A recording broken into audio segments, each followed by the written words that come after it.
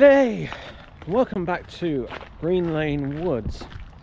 A very icy Green Lane Woods. The sun, the sun is out today in its beautiful glory.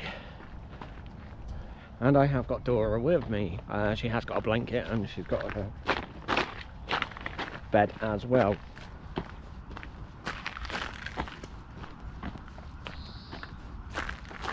So today's plan, we are going to try and get the nuthatch, because I noticed yesterday when I was watching it, the nuthatch crawls down the other side of the trunk.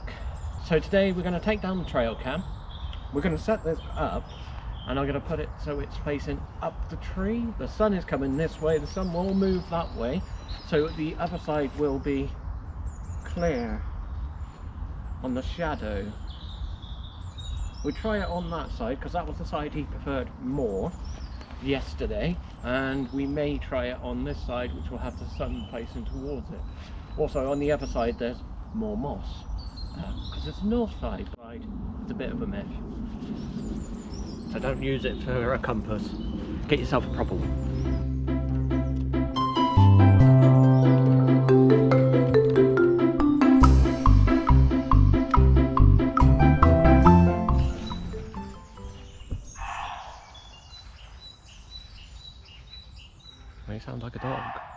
Muntjac or some type of deer barking.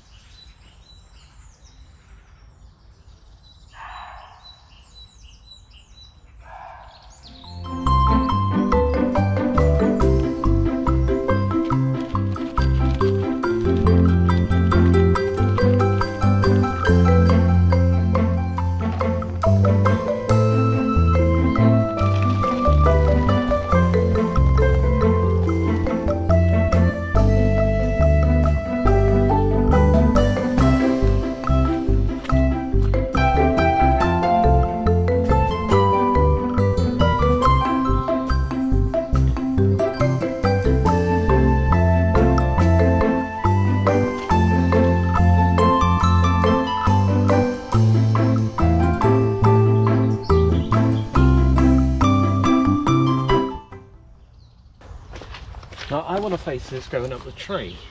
Obviously this tripod, how, gonna, how, how am I going to do that with this tripod? Well the answer is quite simple really. I got a special toy in my, in my bags of tricks. Now this is something which is designed to go onto when you're in a hide, you stick that on there and you stick your, uh, your, your gimbal on there. Saves you getting out the tripod and most uh, hides these days have a shelf for you to lean on. So you can use this to lean uh, your gimbal on instead. That's the idea. So I'm going to put the tripod out and then this it probably won't work with a 500mm lens or a heavier lens but with this lens hopefully I can get it so it's something like that facing up the tree. That's the plan we'll see how things go.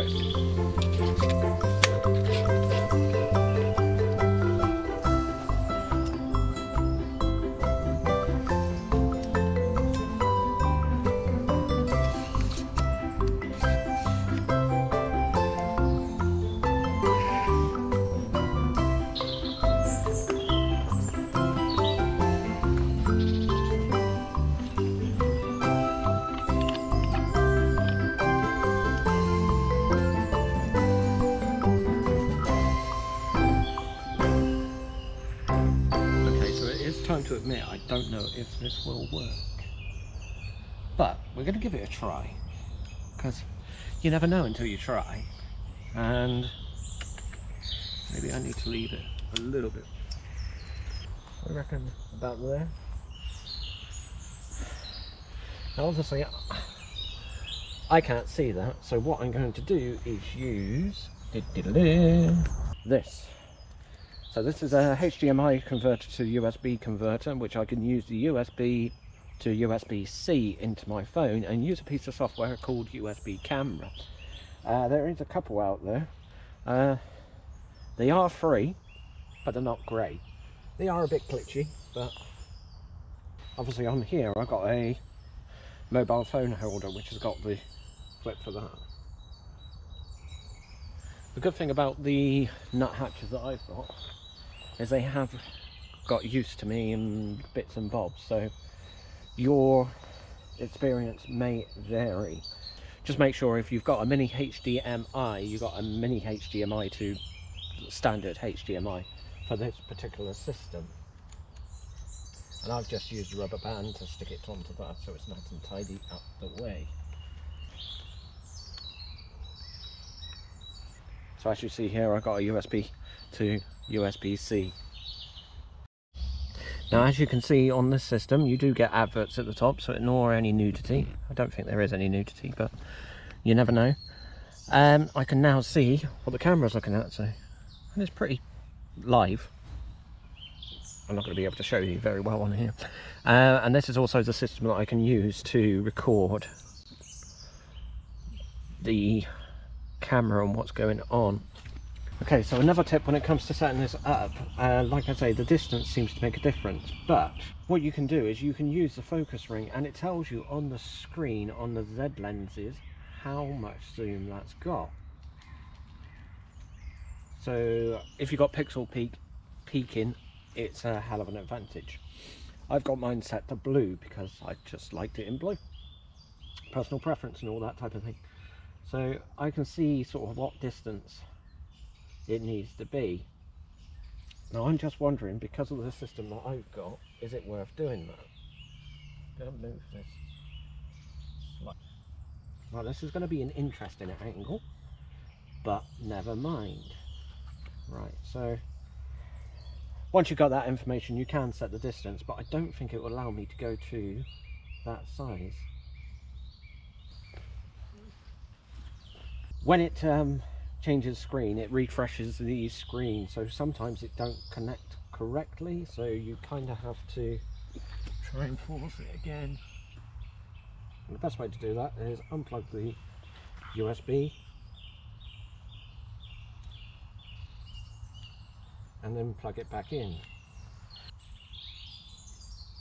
Before we even go into the auto capture just make sure you got your autofocus set. So I've got it set to uh, wide area so the full screen and bird detection. And that's all correct. Uh, make sure your frames are all all right and all that type of thing. Make sure you've got the speed right. So you want it double when you're video recording. You only need it double what you're recording. So I'm recording at 100 frames per second. So I'm going to set it at 200 shutter speed. Um, I'm going to have it at f4 no I'm not. I'm going to have it at f 5.6 uh, I've got auto ISO and I'm going to increase the exposure a tiny bit because I've got the sun right above me. So let's go into auto capture. Start. And I'm not going to set the distance on this one I'm just going to have it on motion. So I'm going to have motion uh, speed 1 size 1 and record time 20 seconds. Hopefully that will be enough. So what once that's done check the settings and leave it to record. Now the nuthatches have been watching me from the other side. So hopefully they know it's there. And we're move all my stuff to the other side actually. And we're going to sit there uh, just out of the way so I can see what's going on with this one.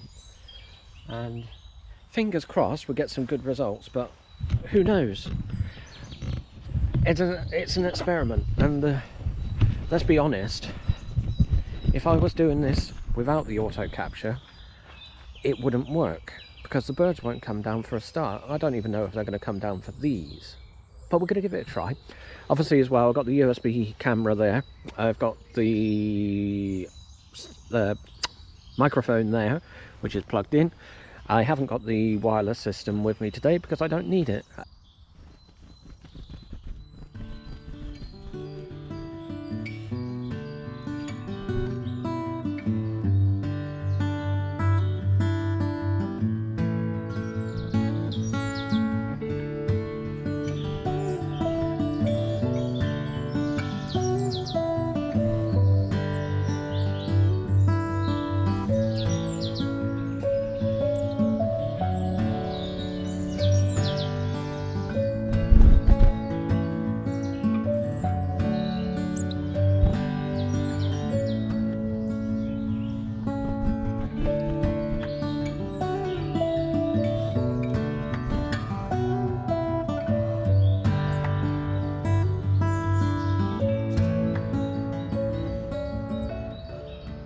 I've been sitting here watching this for quite a while now, towards about towards an hour's time.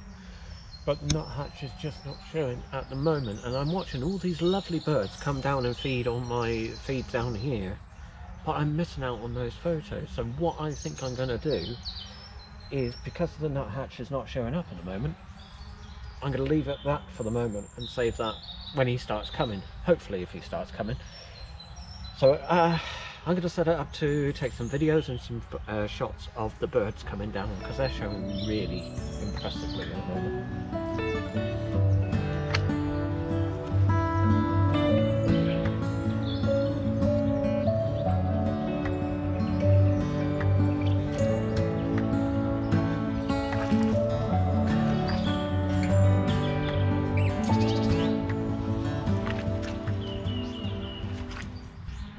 So one annoying feature about this camera and or lens, the further you zoom in, the less space you've got to focus. What I mean by that, if you're fully zoomed in, it's got to be 1.4 or more for the distance set on auto capture that is. But if you're zoomed out, it's 0.9. Now I know this lens is supposed to have a zoom of uh, a, a minimum focal distance of 0.7 but you can't go down to that low. I don't know why that is. Maybe it's different on other lenses, but so for the moment, I'm going to set it so it's not got a distance restriction. There is quite a lot of distance behind, but it should be all right. But we can always use this as a as a way of testing. Does the distance setting make a difference? In our further uh, in our previous testing it did make a difference. In this one we don't know. We'll give it a try. We're using a little experiment so you don't have to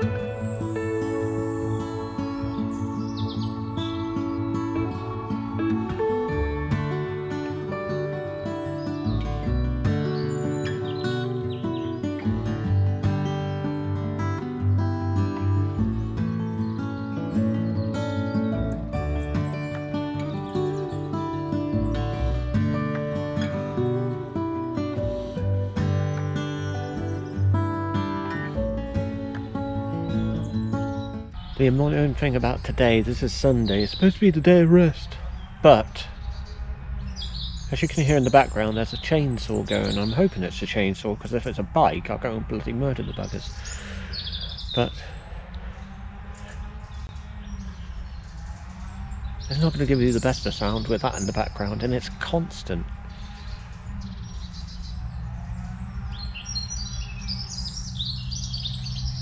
That's got to be a chainsaw, surely.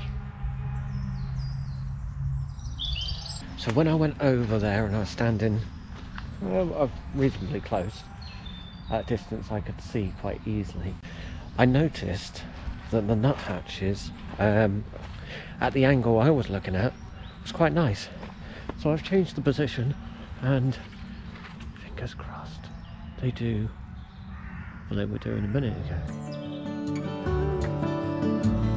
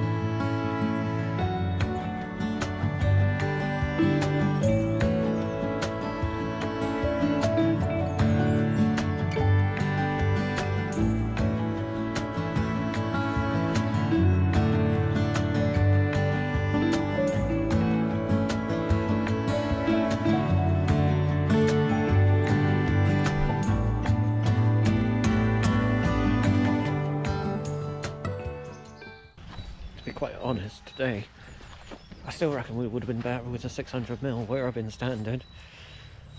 I got, I could have got a really lovely shot of him just sat right on the top.